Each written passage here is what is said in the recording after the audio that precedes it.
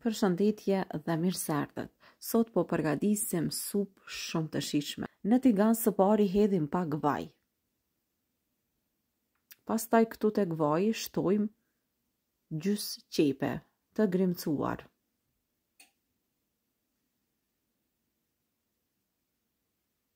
Tek qepa do të shtojmë edhe dy patate mesatare.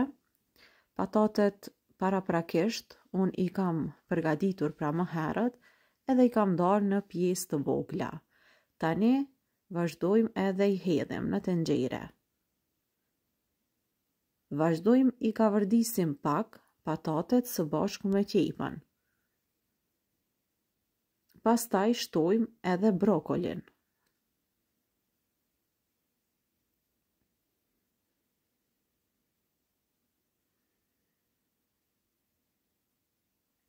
Unë po vazhdoj kështu edhe po e kavërdisi për 2-3 minuta qepën së bashku me patatet. Kështu kur kavërdisen e marrin një arom pak më ndryshe dhe shija e supës bëhet perfekte. E tani vazhdojmë dhe shtojmë edhe brokolin.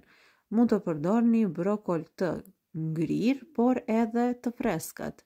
Pra këtu kam hedhur gjithsej 200 gram brokoli.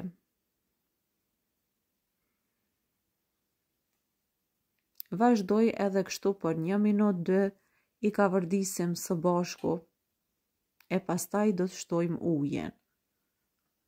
Gjithsej për këtë recetë do të përdorim 700 ml ujë.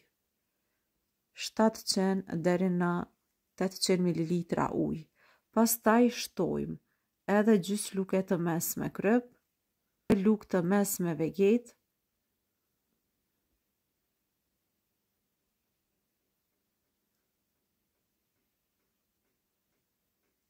Këtu po hedhim pak piper të zi dhe supës për t'i dhënë shije më shumë hedhim edhe keri erëza për afërsisht gjys luge të çajit.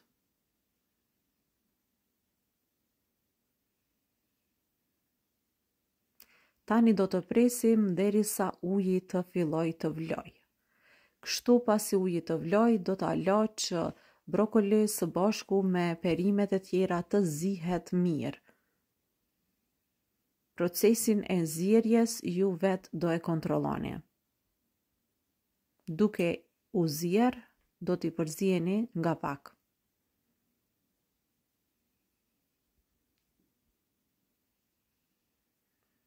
Pasi që perimet janë të ziera, këtu unë do të hedh 150 ml krem hopla për gatim. Pastaj vazhdojmë me blender të dorës e blendojmë të gjitha perimet derisa të formohet një masë kremoze. Dhe vërtet është kjo supa që të gjithë ju do e pëlqeni shumë. Nëse masa ju duket që është shumë e trashë, atëherë lirisht mund t'i hedhni edhe pak ujë. Kështu pasi që e kemi blendu, po e lë edhe për pak minuta, një minut dy, dhe është gati. Supën me brokoli E kemi gati. Tani mundemi edhe ta servojmë. Vazhdojmë tani. E servojmë. Vërtet është supë shumë e shijshme, plot vitamina, mbi kemi hedhur pak krem hopla dhe piper të zi. Kjo ishte receta. Deri në receta të tjera, mirëmbetshi.